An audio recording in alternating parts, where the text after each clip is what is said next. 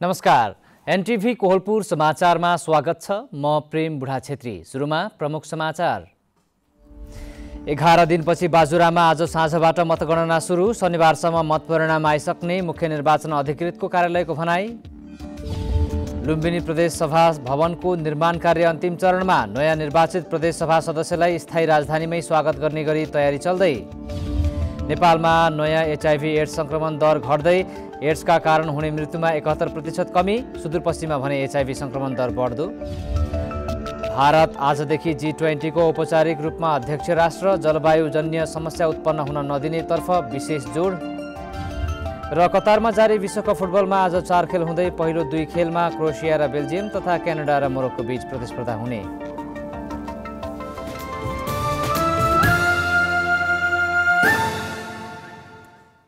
समाचार अब विस्तारमा।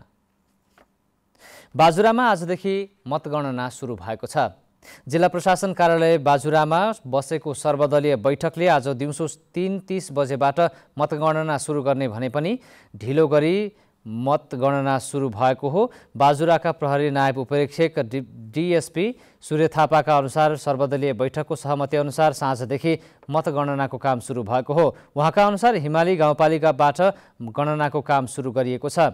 उहाँले मतगणनाको काम जिल्ला प्रशासन कार्यालय बाजुराको नवनिर्मित भवनमा भइरहेको बताउनुभयो। मङ्सिर चौध गते निर्वाचन आयोगले बाजुरा र स्याङ्जा जिल्लामा मतगणना गर्ने गरेर निर्णय गरेसँगै बाजुरामा पनि आजदेखि मतगणनाको काम सुरु भएको हो। यसअघि नेकपा एमाले विभिन्न माग सम्बोधन हुनुपर्ने माग राख्दै आएको थियो। मुख्य निर्वाचन अधिकृत ढाकाराम पौडेलका अनुसार नेपाली कङ्ग्रेस नेकपा एमाले नेकपा माओवादी केन्द्र एकीकृत समाजवादी पार्टी लगायतको राजनीतिक दलहरूको सहमतिमा गणना कार्य अघि बेर अघि अघि केही बेरबाट सुरु भएको हो। मङ्सिर चारको निर्वाचनबाट निर्वाचित भएका नयाँ प्रदेश सभा सदस्यलाई स्थायी राजधानी राप्ती उपत्यकाको लालमटियामा निर्माणाधीन प्रदेश सभा भवनमा स्वागत गर्ने गरी प्रदेश सभाको भवनको निर्माण कार्य अन्तिम चरणमा पुगेको छ। प्रदेश सभा भवनको लुम्बिनी प्रदेशका मुख्यमन्त्री कुलप्रसाद केसी लगायतको पदाधिकारीले अवलोकन गरेर निर्माण कार्यबारे जानकारी लिनुभएको छ। प्रदेश सभा भवनसहित सभा सचिवालय संसदीय दलका कार्यालय लगायतका भवनहरू तयार भइरहेका छन्। लुम्बिनी प्रदेश सभाको दोस्रो कार्यकालका लागि निर्वाचित प्रदेश सभा सदस्यलाई थाई राजधानीको आफ्नै भवनमा स्वागत गर्ने गरी भवन निर्माणको काम अन्तिम चरणमा पुगेको प्रदेश पूर्वाधार विकास प्राधिकरणले जनाएको छ। अहिले सभा भवनको बाहिरी परिसर र भित्री कक्ष सजावटको काम भइरहेको छ। सभा भवन बाहिर सुरक्षा गार्डका लागि संरचना निर्माण भइरहेको छ। सभा कक्षका लागि आवश्यक माइक लगायतका साउन्ड सिस्टम बुटोलमा अहिले प्रयोग भइरहेका नै ल्याएर जडान गरिने निर्माण व्यवसायले जनाएका छन्। सभा भवनसँगै संसद सचिवालयको भवन पनि अन्तिम अन्तिम चरणमा पुगेको छ। संसद भवनबाट संसद सचिवालय जाने बाटो निर्माणको काम पनि भइरहेको प्रदेश पूर्वाधार विकास प्राधिकरणले जनाएको छ। प्रदेश सभा भवन अगाडि रहेको अर्को भवनलाई संसदीय दलको कार्यालयका रूपमा दलहरूले प्रयोग गर्ने गरी मर्मतको काम भइरहेको प्राधिकरणले जनाएको छ। थाई राजधानीबाटै प्रदेश सभा सञ्चालनको लागि आवश्यक भौतिक संरचना बनिसकेको र अहिले रङ रोगनको काम भइरहेको प्रदेश पूर्वाधार विकास प्राधिकरणका प्रमुख कार्यकारी छविराज पोखरेल बताउनुहुन्छ। अहिले हेर्दाखेरि बाइस गतिसम्म भित्रको संरचना तयार हुन्छ। बाहिर पनि हामीले सेक्युरिटी पोस्टहरू बनाएको लगभग दिन लागेको छ। रङ रङको पार्ट मात्र बाँकी छ। र अलिकति ब्युटिफिकेसनको पार्टहरू बाँकी रहन सक्छ। गार्डन मेन्टेन गर्ने फुलहरू लगाउने यस्ता कामहरू आउन सक्छन्। त्यसलाई भित्र सभा चल्दै गर्दा पनि बाहिर काम गर्ने किसिमले हामीले व्यापारी काम गर्न सक्नुहुन्छ। लुम्बिनी प्रदेशका मुख्यमन्त्री कुलप्रसाद केसीले प्रदेश सभा भवनको स्थलगत निरीक्षण गर्नुभएको छ। बुधबार लालमटिया स्थित प्रदेश सभा भवन निर्माण स्थलमा पुग्नुभएका मुख्यमन्त्री केसीले सभा भवन संसद सचिवालय संसदीय दलका कार्यालय रहने भवनको अनुगमन निरीक्षण गर्नुभएको हो। प्रदेश सरकारले दिएको निर्देशन अनुसार प्रदेश सभा सचिवालय संसदीय दलका कार्यालय पार्किङ स्थल सबै तयारी अवस्थामा रहेको प्रदेश पूर्वाधार विकास प्राधिकरणले जनाएको छ। अब आउने संसद नयाँ संसद यहीँ बस्ने भन्ने हामीलाई निर्देशन आएको अनुसार हामीले यसलाई त्यही रफ्तारमा काम गरिरहेका छौँ। संसद लगभग सिद्धिन लागेको छ संसद सचिवालय चाहिँ अब सिद्धिने क्रममा छ। यसैबीच मङ्सिर चार गते भएको निर्वाचनबाट लुम्बिनी प्रदेश सभामा अठाइस वर्षदेखि उन्सत्तर वर्ष उमेर समूहका प्रदेश सभा सदस्यका रूपमा निर्वाचित भएका छन्। निर्वाचन आयोगले विजयी भएका प्रदेश सभा सदस्यको नामसँगै उल्लेख गरेको उमेर अनुसार लुम्बिनी प्रदेशमा आगामी पाँच वर्ष पचास वर्ष नागेका तेत्तिसजना प्रदेशसभा सदस्य रहनुहुनेछ। तीमध्ये आठजना पैँसठी वर्ष पार गरेका हुनुहुन्छ। यही सभामा सबैभन्दा कम उमेरका दाङ क्षेत्र नम्बर एक दुईबाट नेपाली काङ्ग्रेसका तर्फबाट निर्वाचित अठाइस वर्षीय अनुराग खड्का पनि हुनुहुन्छ। यस्तै जनमत पार्टीका तिस वर्षीय चन्द्रकेश गुप्ता नागरिक उन्मुक्ति पार्टीका एकतिस वर्षीय राजकुमार चौधरी लोकतान्त्रिक समाजवादी पार्टीका तेत्तिस वर्षीय कनैया बनिया लगायत पनि लुम्बिनी प्रदेश सभा सदस्यका रूपमा निर्वाचित हुनुभएको छ।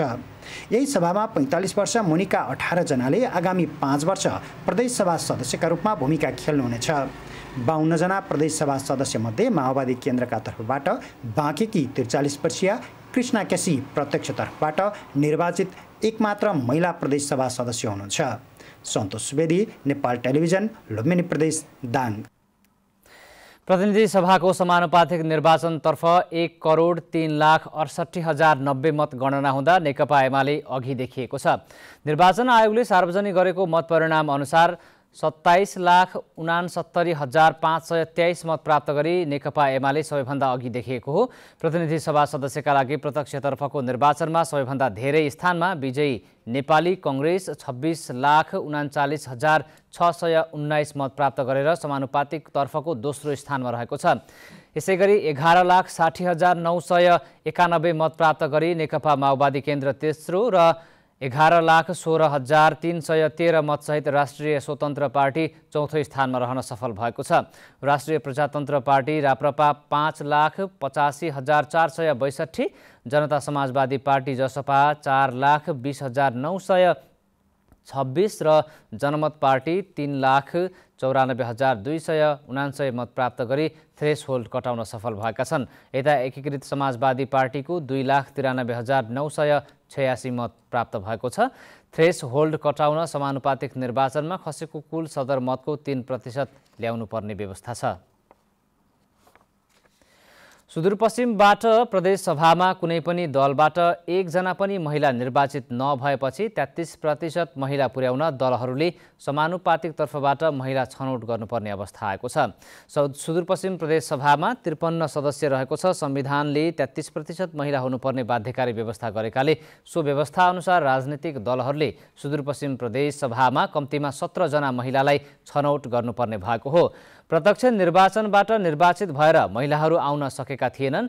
यसरी एक्काइसजना समानुपातिक प्रदेशसभा सदस्य मार्फ मध्य सत्रजना महिला र चारजना मात्रै पुरुष छानिने भएका छन्। निर्वाचन आयोग सुदूरपश्चिम कार्यालय धनगढीका प्रमुख प्रेम राज भट्टले प्रदेशसभामा प्रत्यक्षतर्फ महिलाहरू निर्वाचित नभएकाले दलहरूले गरेको महिला सहभागिताको व्यवस्था समानुपातिक सूचीबाट पुरा गर्नुपर्ने अवस्था रहेको बताउनुभयो। सुदूरपश्चिम प्रदेश सभाका लागि भएको निर्वाचनमा बाजुरा बाहेकका आठ जिल्लाबाट तिस प्रदेश सभा सदस्य निर्वाचित भइसकेका छन्। ती निर्वाचित सबै पुरुषहरू रहेका छन्। सुदूरपश्चिम प्रदेश सभाको मङ्सिर चारमा भएको निर्वाचनमा हालसम्म नेपाली कङ्ग्रेसबाट एघारजना नेकपा माओवादी केन्द्रबाट आठजना नागरिक उन्मुक्ति पार्टीबाट पाँचजना नेकपा एमालेबाट तिनजना नेकपा एकीकृत समाजवादीबाट दुईजना र स्वतन्त्र एकजना निर्वाचित भएका छन्। बाजुरामा मतगणना भइरहेको छ। दुई प्रदेशसभा सदस्य निर्वाचित हुन बाँकी रहेको छ बाजुरामा। त्यहाँ पनि प्रदेशसभामा पुरुष नै उम्मेद्वार रहेका छन्। समाचारको क्रम जारी नै छ। अहिलेलाई एकैछिनको विश्राम।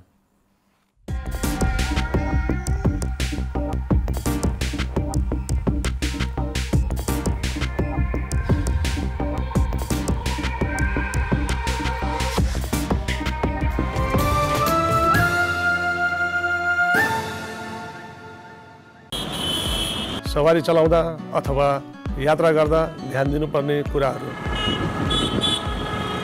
मादक पदार्थ सेवन गरी सवारी नचलाऊ चालकले मादक पदार्थ सेवन गरेको थाहा पाए यात्रुले प्रहरीलाई खबर गरौँ। जेब्रा क्रसिङबाट बाटो काटौँ र सिट क्षमताभन्दा बढी यात्रा नगरौँ। सवारी चलाउँदा मोबाइल फोनको प्रयोग नगरौँ र सडकमा ध्यान केन्द्रित गरौँ। सवारी साधनको छतमा बसेर यात्रा नगरौँ र पैदल हिँड्दा सकभर फुटपाथको प्रयोग गरौँ। रातिको समयमा अरू सवारी साधनलाई बाधा हुने गरी हाइलाइटको प्रयोग नगरौँ। ट्राफिक नियम मिचेकोमा गर्व होइन लाज मान्ने गरौँ। तीव्र गति जीवन क्षति। बिस्तारै गए अवश्य पुगिन्छ छिटो गए भन्न सकिन्न। याद गर्नुहोस् तपाईँका परिवारले तपाईँलाई पर्खिरहेका छन्। जनचेतनाका लागि एनटिभी कोहलपुरद्वारा जारी सन्देश। विश्रामपछि समाचारमा पुनः स्वागत छ। अब बाँकी समाचार। कर्णाली प्रदेशमा सत्तारूढ गठबन्धनले दुई तिहाई बहुमत पुर्याउने भएको छ। निर्वाचनमा प्रत्यक्षतर्फ नेपाली कङ्ग्रेस र माओवादी केन्द्रले समान नौ नौ सिट जितेका छन् भने एमाले पाँच सिट जित्दा स्वतन्त्र एकजनाले जितेका छन्। समानुपातिकतर्फ मतगणना अन्तिम चरणमा पुगेको छ। अहिलेसम्म प्राप्त मत अनुसार कङ्ग्रेस र एमाले समान पाँच पाँच माओवादी केन्द्रले चार तथा एकीकृत समाजवादी र राप्रपाले एक एक सिट पुर्याउने देखिएको छ। त्यसो भए चालिस सदस्यीय कर्णाली प्रदेश सभामा सत्तारूढ गठबन्धनबाट आबद्ध दलको कुल सांसद सङ्ख्या अठाइस हुनेछ। कर्णालीमा बहुमतको सरकार बनाउन एक्काइसजना सांसद चाहिन्छ। गठबन्धन कायमै रहे सहजै सरकार बन्नेछ। एमाले भने सरकारको नेतृत्वका लागि कङ्ग्रेस वा माओवादीको साथ खोज्नुपर्नेछ।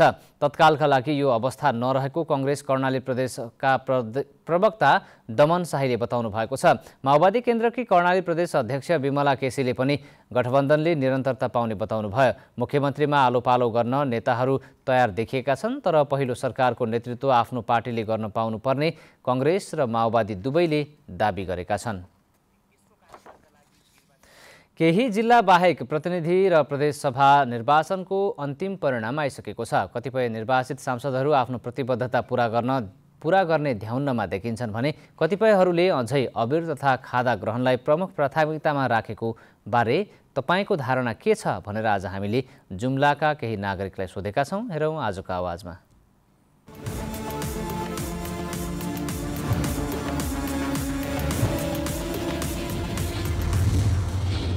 चुनावभन्दा अगाडि आए नेताहरू आए घर घरमा दल दैलोमा। जुनसुकै पार्टीका भए पनि अब आए अब भर्खर चुनाव जितेछन् अब जुम्लाको लागि अब कसो गर्छन् अब आउँदो दिनमा थाहा हुन्छ। केन्द्रमा गएर बस्नुभन्दा पटक पटकमा गाउँमा आएर गाउँका समस्याहरू योजनाहरू आइरहेका छन्। योजनाहरू के कति काम भए सानातिना त होइन ठुल्ठुला योजनाहरू आइरहेका हुन्छन्। त्यसको अनुगमन कसरी गर्ने? र अनुगमन गरेर त्यो राम्रो भएछ छैन गुणस्तर भएछ छैन त्यो हेर्दै जानुभयो भने उनीहरू लोकप्रिय पनि हुन सक्छन्। जुम्ला जिल्लामा अहिले उहाँहरू जुन आफ्नो जुन हिजो उहाँहरू चाहिँ मत माग्न जानुभएको थियो एक दुई मतदाताहरूसँग उहाँहरूले जुन रिक्वेस्ट गरेर उहाँहरूको चाहिँ कुरा सुनेर जुन मतदाताहरूले उहाँहरूलाई चाहिँ मत दिएर अहिले विजय गराउनु भएको छ त्यो कुरालाई उहाँहरूले मनन गरेर अहिले जुन आफ्नो क्षेत्रमा जिल्लामा उहाँहरूले सबैसँग भेटघाट गर्न गइरहनु भएको छ। यो चाहिँ विषयलाई हामी सकारात्मक भन्ने ठान्दछौँ। दैलो दैलोमा फिराउने केही होइन रोड बाटो सबै बुनायो भनेपछि ती संसद बन्ने भोलि माननीय हुनन् गाउँ गएर हेर्नु पर्यो को कस्तो छ क्या छ। तिनीहरू माथि गएर मान्छेमा बसेर खुर्ची हल्ल्याउने मात्रै काम गऱ्यो भनेपछि हामी तिनीहरू फेरि दिन किन दिउँला नि होइन? दिने आवश्यक छैन। झिटाएर पठाएर सभासदहरू होइन? एउटा के छ भने हामीले यति विश्वास धेरै विश्वास गरेर उहाँहरूलाई जिताएका जिताएका छौँ। त्यसपछि भोलि उहाँहरूले केही विकास गरेनन् भने पछि हामी पनि त्यही अनुसार अरूलाई चुनाएर पठाउँछौँ होइन? यसमा केही अहिलेसम्म कर्णालीमा धेरै हाम्रो गाउँठाउँ अब कतिपय बाटाघाटाहरू हरेक कुराहरू छन् पीडा है। अब गरिबहरूले कसैले अब कोहीले त अब धेरै सबैभन्दा हामी यहाँ बनाउनु पर्ने के छ भने नीति नियम भ्रष्टाचार मुक्त हो कि यिनी कुराहरूलाई क्लियर गर्यो भनेपछि भोलि विकास आफै नै आफैसा हुन्छ है। जुम्लाको हकमा कुरा गर्नुहुन्छ भने एकदमै लोकप्रियता जुन नयाँ अनुहारलाई जनताले चाहिँ चयन गरेका छन् होइन? त्यो भयो भने जस्तै अब अहिले यी माननीय जीवहरू ठाउँ ठाउँमा गएर बधाई खाने त्यसपछि चाहिँ आफ्नो चाहिँ प्रतिबद्धता जाहेर गर्ने चाहिँ गर्नुभएको भएको छ र त्यो प्रतिबद्धतामा चाहिँ राम्रै कुराहरू उठान गर्नुभएको छ उहाँहरूले। यी कुराहरूलाई चाहिँ हामी एकदमै प्रतिबद्ध भएर चाहिँ पुरा गर्नेछौँ भन्नुभएको छ र अर्को कुरा हामी भ्रष्टाचार पनि गर्दैनौँ र एक रुपियाँ कसैलाई भ्रष्टाचार पनि गर्न दिँदैनौँ। हामी चाहिँ यो जिल्लालाई भ्रष्टाचार मुक्त चाहिँ जिल्ला बनाउने भन्ने उहाँहरूको चाहिँ एउटा घोषणा भएको छ र साँच्चीकै त्यही अनुसार हुने हो भने उहाँहरू चाहिँ एकदमै यो जनताको लोकप्रिय नेता हुनुहुनेछ भन्ने मैले चाहिँ आशा लिएको छु।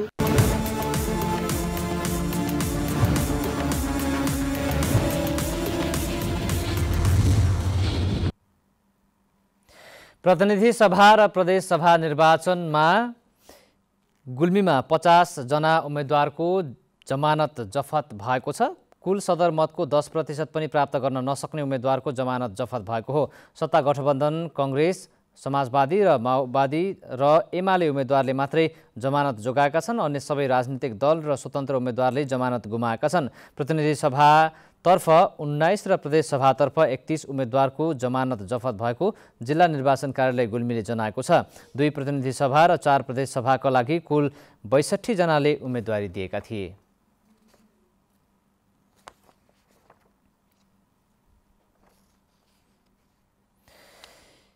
आज पैँतिसौँ विश्व एड्स दिवस नेपालमा पनि विभिन्न जनचेतनामूलक कार्यक्रम गरी मनाइएको छ। राष्ट्रिय एड्स तथा यौन रोग नियन्त्रण केन्द्रको तथ्याङ्क अनुसार नेपालमा एचआइभी एड्स सङ्क्रमण दर घट्दै गएको पाइन्छ। दुई दशकमा नयाँ एचआइभी सङ्क्रमण दर झन्डै चौरासी प्रतिशतले घटेको छ। यस्तै एड्सका कारण हुने मृत्यु एकहत्तर प्रतिशतले घटेको छ। तर सुदूरपश्चिम प्रदेशमा भने रोजगारीका लागि भारत जाने प्रवासीका कारण एचआइभी सङ्क्रमण दर बढ्दो अवस्थामा देखिएको छ। डिसेम्बर एकमा विश्व एड्स दिवस मनाइरहँदा सुदूरपश्चिममा एचआइभी संक्रमण दर बढ्दै गएको छ। देशमा सबैभन्दा बढी संक्रमित रहेको कैलालीमा एक वर्षमा मात्र एक सय बाहन्न जना संक्रमित थपिएका छन् भने पैतिस जनाको मृत्यु भएको छ। नयाँ फेला पर्ने संक्रमित मध्ये अधिकांश भारतमा रोजगारी गरी फर्केका र उनीहरूका श्रीमती तथा यौन कर्मी रहेका छन्। पश्चिमको क्षेत्रमा हेर्ने हो भने प्रवासी नेपालीहरू र तिनका परिवारमा एचआइभीको समस्या बढिरहेको छ। त्यसको रोकथामको लागि अहिले सरकारी क्षेत्र र गैर सरकारी क्षेत्रहरूबाट खास गरी एचआइभी परीक्षण गर्ने र तिनीहरूलाई ट्रिटमेन्ट उपचारको दायरामा ल्याउने कामहरू भइरहेछ। सुदूरपश्चिममा तिन हजार पाँच सय त्रिहत्तर जना संक्रमित मात्रै एन्टी रेट्रो भाइरस एचआइभी एड्सको उपचारमा छन्। आठ सय संक्रमितको अझै पत्ता लागेको छैन। सुदूरपश्चिमका हरेक जिल्लामा एचआइभी संक्रमित रहेको सुदूरपश्चिम स्वास्थ्य निर्देशनालयले जनाएको छ। संक्रमितहरूको भाइरल लोड परीक्षण केन्द्र सेती प्रादेशिक अस्पतालमा मात्रै छ। सरकारले एचआइभी संक्रमितलाई तोकिएका स्वास्थ्य संस्थाबाट निशुल्क एन्टी रेट्रोभाइरल उपचार सेवा दिँदै आएको छ। सेती प्रादेशिक अस्पताल आफै पनि सुदूरपश्चिमको रिफरल साइट भएको हुनाले सुदूरपश्चिमका नौ जिल्लामा सङ्क्रमित जो त्यो जिल्लाले व्यवस्थापन औषधि उपचार गर्न नसकेकाको औषधि गर्ने अहिले हामीसँग बिस बाइसजना इन्डिया सीमा नजिकका सङ्क्रमित दाजुभाइहरू पनि हुनुहुन्छ। भारतमा रोजगारीका लागि जानेको संख्यामा कमी नआउनु र परीक्षणको दायरा बढ्नुले संक्रमित पत्ता लाग्ने दर बढ्दै गएको स्वास्थ्य कर्मीको भनाइ छ। यद्यपि विगत वर्षको तुलनामा नयाँ संक्रमित पत्ता लाग्ने संख्या पछिल्लो केही वर्ष यता कम हुँदै गएको एचआइभीको क्षेत्रमा काम गर्नेहरूको भनाइ छ। हामीले चाहिँ हामीले एचआइभीमा चाहिँ रोकथाम कसरी गर्ने एचआइभी चाहिँ बढ्न कसरी नदिने भनेर चाहिँ हाम्रो संस्थाले चाहिँ काम गरिरहेको सुदूरपश्चिम प्रदेशबाट भारतमा रोजगारीका लागि जानेको संख्या ठुलो छ। त्यहाँ हुने असुरक्षित यौन सम्बन्धबाट कतिपय संक्रमित भएर आउने र संक्रमित भएको थाहा नपाउँदा घरमा श्रीमतीलाई सार्ने गरेका छन्। संक्रमितले असुरक्षित रूपमा बच्चा जन्माउँदा बाल बालिकामा पनि एचआइभी देखिने गरेको छ। त्यही भएर सरकारवालाले प्रवासी र तिनका परिवार केन्द्रित कार्यक्रम सञ्चालन गरिरहेका छन्। खास गरी बढी फोकस भएको सुदूरपश्चिम र कैलालीमा बढी फोकस भएको कार्यक्रम भनेको सरकारी क्षेत्रबाट उपचार सेवालाई प्राथमिकता दिएको छ भने गैर सरकारी सङ्घ संस्थाहरूबाट समुदायमा रहेका क्षयरोगका सङ्क के अरे हाम्रो एचआइभी सङ्क्रमित व्यक्तिहरूलाई पत्ता लगाउनको लागि समुदायमा टेस्टिङ जाँच र तिनीहरूलाई उपचारमा ल्याउने एक्टिभिटीहरू सञ्चालन भएको छ। नयाँ संक्रमित फेला पर्ने दर घटाउन प्रवासी कामदार र उनका परिवारलाई सचेत गराउने कार्यक्रमलाई अझ व्यापकताका साथ सञ्चालन गर्न आवश्यक रहेको सरकारवालाहरूको भनाइ छ। सीताराम ओझा नेपाल टेलिभिजन कैलाली। समाचारको क्रम जारी नै छ। एकैछिनको विश्राम।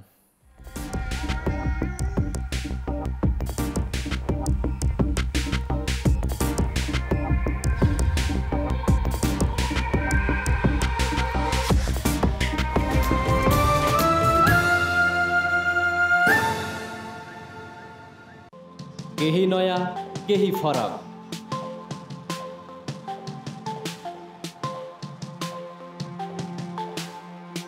राष्ट्रिय सञ्चारको मेरुदण्ड। नेपाल टेलिभिजनको प्रादेशिक च्यानल। एनटिभी कोहलपुर। पश्चिम नेपालको लुम्बिनी कर्णाली र सुदूरपश्चिमको एकमुष्ट आवाज। सत्य समाचार तटस्थ विचार। कार्यक्रममा मौलिकता समावेशिता र विकासमा विस्तार। डिजिटल दुनियाँमा तपाईँको विचार र भावनालाई संसारसँग जोड्दै एनटिभी कोहलपुर। सूचना शिक्षा र मनोरञ्जनको। यो यात्रा हो समृद्धिको।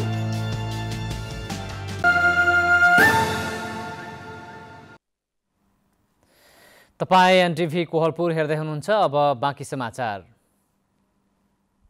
पछिल्लो चौबिस घन्टामा थप दुईजना डेङ्गी सङ्क्रमितको मृत्यु भएको छ। स्वास्थ्य तथा जनसङ्ख्या मन्त्रालयको तथ्याङ्क अनुसार पछिल्लो चौबिस घन्टामा दुईजना डेङ्गी सङ्क्रमितको मृत्यु भएको हो। यो सँगै नेपालमा मृत्यु हुनेको सङ्ख्या डेङ्गी सङ्क्रमितको सङ्ख्या बैसठी पुगेको मन्त्रालयले जनाएको छ।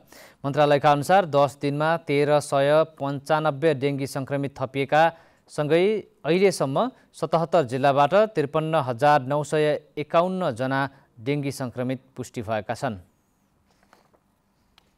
समाचारमा अन्तर्राष्ट्रिय प्रसङ्ग।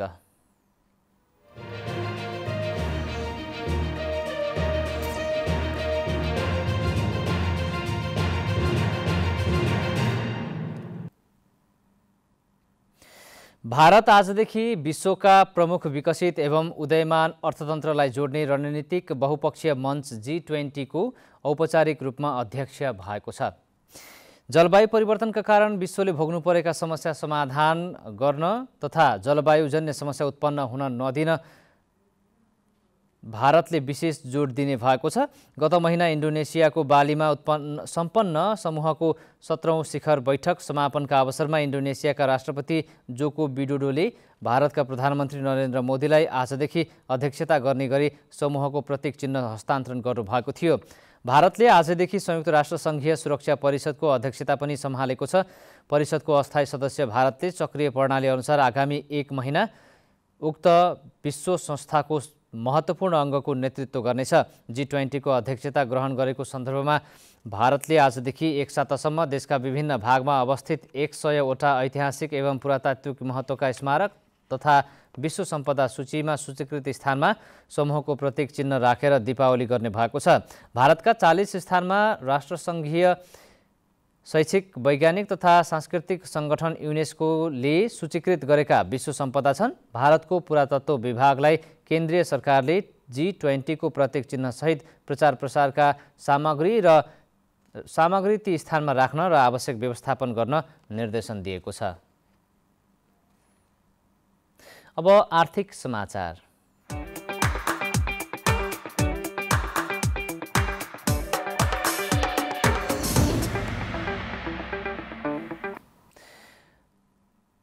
सेयर बजार आज दोहोरो अङ्कले बढेको छ। सेयर बजार परिसूचक नेप्से आज एघार दशमलव दुई दुई अङ्कले बढेर एक हजार नौ सय एकसट्ठी दशमलव शून्य छ बिन्दुमा पुगेको हो।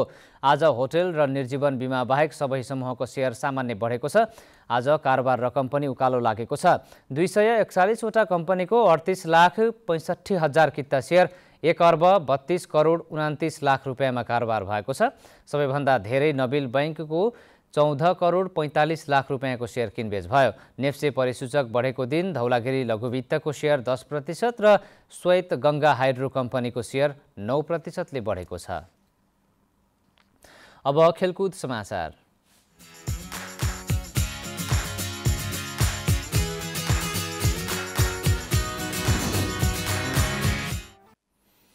कतारमा जारी फिफा विश्वकप फुटबल अन्तर्गत आज चार खेल हुँदैछन् जसमा समूह ई र समूह एफका दुई दुईवटा खेल हुनेछन्। पहिलो दुई खेलमा समूह एफमा रहेका क्रोएसिया र बेल्जियम तथा क्यानाडा र मोरक्को बीच प्रतिस्पर्धा हुँदैछ। दुवै खेल नेपाली समयअनुसार अहिले आठ बजेर पैँतालिस मिनटमा सुरु हुनेछ।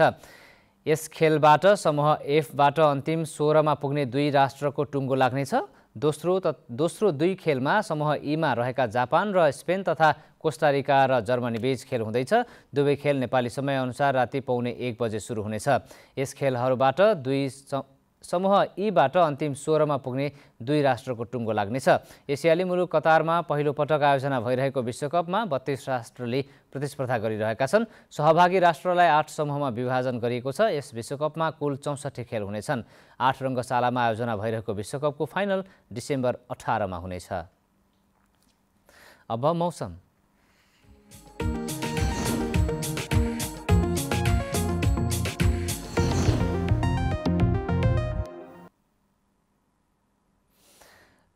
आज प्रदेश नम्बर एक तथा गण्डकी प्रदेशका पहाडी भूभागमा आंशिक बदली तथा बाँकी भूभागमा मौसम सामान्यतया सफा रह्यो। आज राति सुदूरपश्चिम प्रदेश र कर्णाली प्रदेश लगायत अन्य प्रदेशका पहाडी भूभागमा आंशिक बदली तथा बाँकी भूभागमा मौसम सामान्यतया सफा रहनेछ।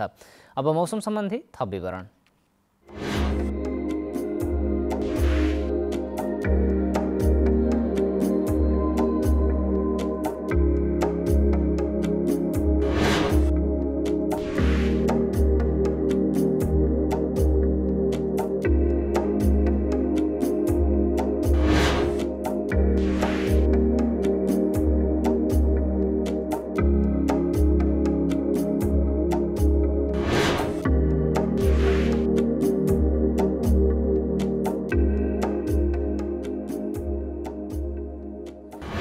समाचारको अन्त्यमा प्रमुख समाचार पुनः एकपटक।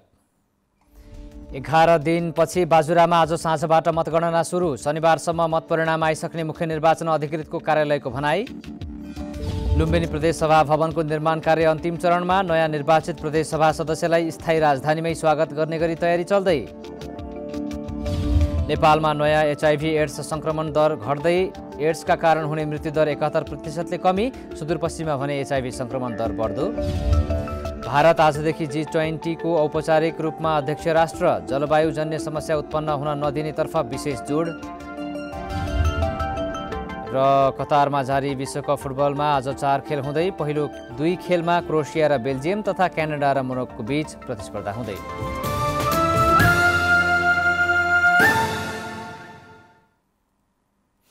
हवस् त अहिलेलाई समाचारको सिलसिला यति नै। बिदा दिनुहोस्। नमस्कार।